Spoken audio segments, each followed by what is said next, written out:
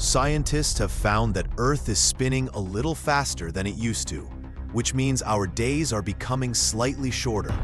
Instead of the usual 24-hour rotation, the planet is now completing its spin in just under that time. The difference is tiny, but it could eventually affect how we keep track of time.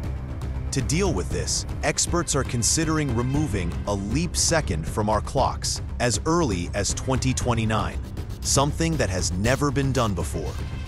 In the past, leap seconds have only been added when the Earth's rotation slowed down.